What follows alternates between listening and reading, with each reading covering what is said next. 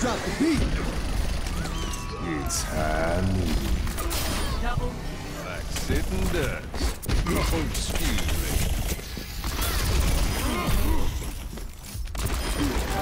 That'll learn you.